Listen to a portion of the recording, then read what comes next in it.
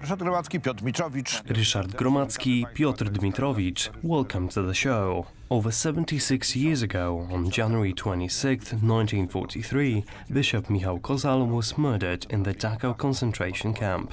The bishop, who after many years, after over 40 years, was beatified by the Polish Pope John Paul II, is an extraordinary figure.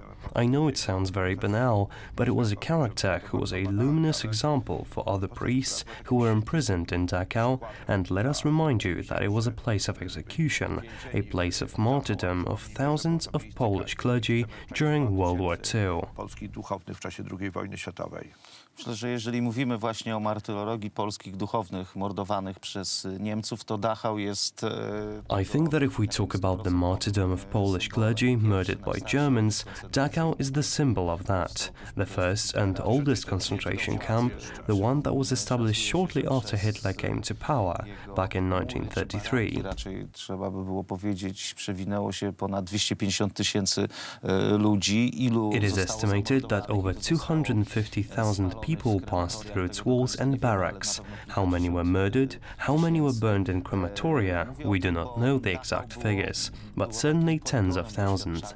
I'm talking about it because Dachau was, to put it bluntly, a testing ground, which is also worth remembering.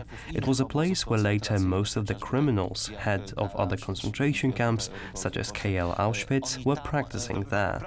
According to Polish historians, over 1,700 priests were starved and murdered in Dachau, and nearly 3,000 were imprisoned there. Zagłodzonych, zamordowanych, zabitych w Dachau, a blisko 3000 tam było więzionych i biskup Kozal... Bishop Kozal, all his life was a support for other young priests who went there, whether from his diocese or from others. I emphasize his diocese because just before the outbreak of war in August 1939, he became an auxiliary bishop at the Włocławek diocese. roku został biskupem pomocniczym diecezji włocławskiej i to jest o tyle, myślę, ważne i charakterystyczne, że... This is important and characteristic because the later primate Stefan Wyszyński graduated from the seminary in Włocławek, of course earlier, back in 1924. It was quite symptomatic that the vast majority of colleagues and friends from Stefan Wyszyński's seminary were killed in Dachau. kolegów, przyjaciół z seminarium Stefana Wyszyńskiego zginęła w Dachau i on przez całe życie o tym pamiętał, nosił... He remembered it all his life. He carried the memory of them throughout his life.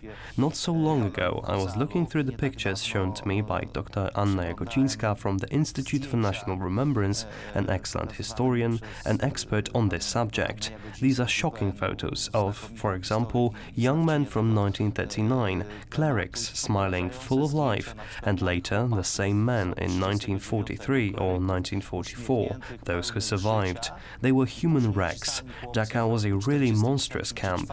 People there were not only starved, not only beaten, not only killed off, because Bishop Kozal fell ill with typhus and was simply killed off with an injection of phenol, but the priests there were humiliated. Prayers were forbidden, and the possession of the rosary was punishable by death at certain times. It was hell. The point was to question their Czyli faith. w 1945 e, roku tam doszło do masakry. Amerykanie wymordowali część obsługi tego obozu. When the Americans entered there in 1945, there was a massacre. The Americans murdered part of the camp staff because they were simply shocked by what they saw.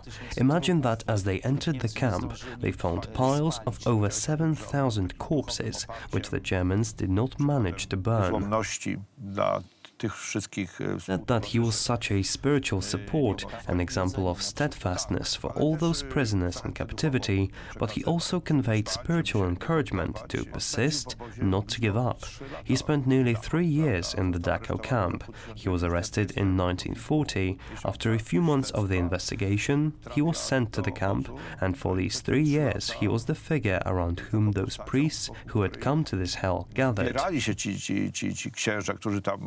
Those who survived, those who survived Dachau, those who later cultivated the memory of it, remember Bishop Kozal as the person who gave them the strength to survive. Biskupa Kozala właśnie jako taką osobę, która dawała im tą siłę do, do Nadzieję. przetrwania. We said that in 1987, during the third pilgrimage to Poland, John Paul II beatified Bishop Kozal.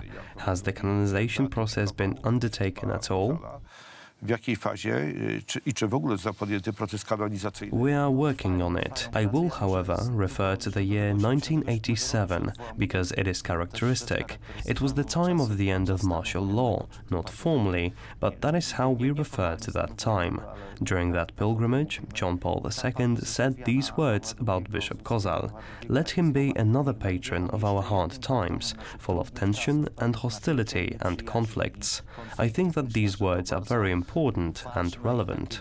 A character who had a unique gift of reconciliation.